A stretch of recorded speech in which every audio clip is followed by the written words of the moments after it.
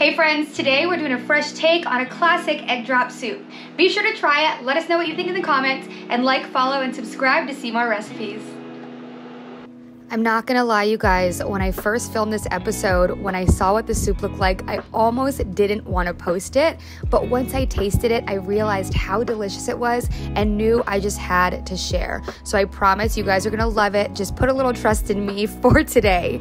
Uh, so we're gonna get started with chopping up our prosciutto. You guys can also use bacon, but you know I love my prosciutto. And for our vegetarian friends, you can keep that out. Uh, then we're gonna get it crispy in the pan, chop up some green onions whip up our eggs, and dissolve our miso paste in a little bit of hot water.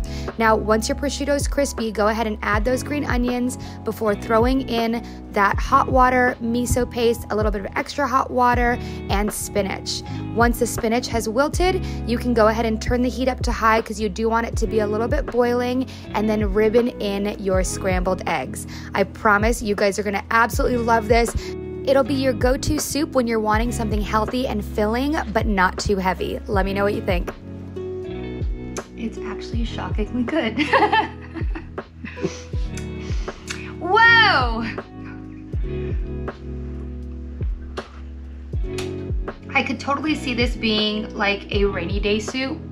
Like one of those days where it's raining and all you wanna do is cuddle up in a blanket, on the couch and watch movies all day and like sip on something that's hot, but you don't want coffee, you don't want hot cocoa, you want soup, but you don't want anything like a ramen or something too heavy, I think that this, this could be it.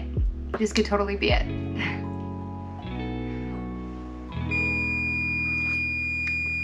Something else is done.